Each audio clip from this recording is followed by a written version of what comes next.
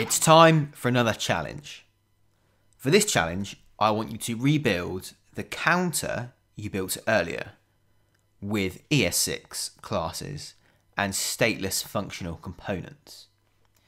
Now, this shouldn't be too hard as you've already built this using React.createClass.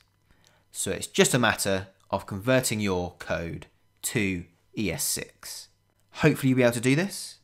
If not, check out the next video where I'll talk you through exactly how to convert the code to ES6.